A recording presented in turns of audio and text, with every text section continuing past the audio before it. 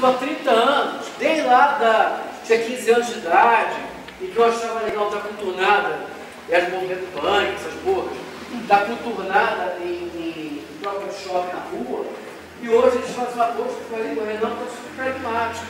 Hoje a gente opera pelo movimento social e pela política, aspas por dentro, influenciando o que a gente pode mudar. E quando a gente acha um oásis, tipo esse do Galpão 252, a gente joga todo o foco de luz aqui. Porque o que eu falo sempre foi com o Ricardo.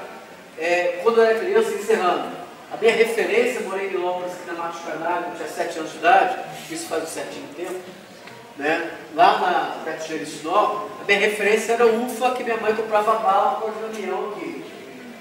Depois, a minha referência, toda vez que eu nessa rua, era os moleques da, do Cabral que foram mortos lá na, na Chatuba. Toda vez que eu entrava nessa bendita nessa rua, ou passava aqui na esquina, ou parava no sinal ali, eu lembrava disso. E hoje você tem a referência aqui desse espaço. E tem a referência do merda, do pessoal da Roda Cultural de Finópolis. Aí a gente está fazendo enfrentamento. Aí a gente está fazendo mudando. Então dá para a gente mudar sim. Eu sou um otimista e acredite, gente, já passou e passa ainda, sabe, literalmente, vamos o capeta amassou. Entendeu? Já passou muito medo também. Muito medo. Sabe? A gente trabalha com isso na passada, a gente já passou, vendo que é o caso, tem nenhum heroísmo nesse processo, muito medo. E a gente enfrentou.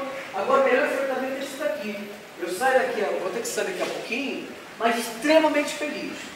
Entendeu? Juntar essa galera toda aqui, os pensamentos diferentes, essas caras todas diferentes aqui, é a maior sacanagem que pode fazer do Bolsonaro da vida, do Eduardo Cunha, os clones aí dos que existem no Brasil afora.